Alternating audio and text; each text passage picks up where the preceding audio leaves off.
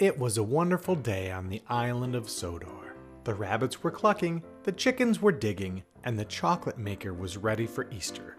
I would like to thank you, Sir Topham Hatt, for scheduling the delivery of my giant Easter eggs right before the grand premiere. Without your help, my creation would have melted in the spring sun.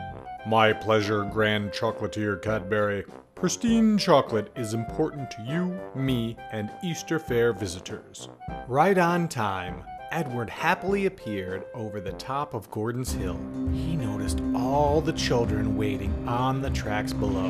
Look out! Horrified, the children ran. The giant chocolate Easter eggs went flying from their trucks, but little Bobby Joe was so afraid that she couldn't move a muscle until it was too late. Burn. One giant chocolate Easter egg landed directly on top of Bobby Joe.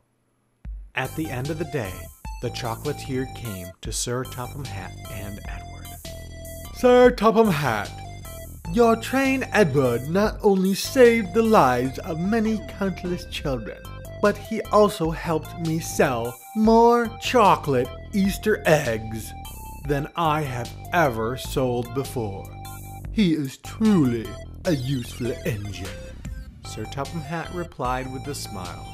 That, Grand Chocolatier Cadbury, is exactly how I feel. And they all laughed together. The end. Thank you everyone for watching. If you'd like to see some more adventures, click here. If you'd like to see anything special, be sure to comment below. If you like this video, click the thumbs up so others can know. Thanks for subscribing, and we look forward to seeing you next week.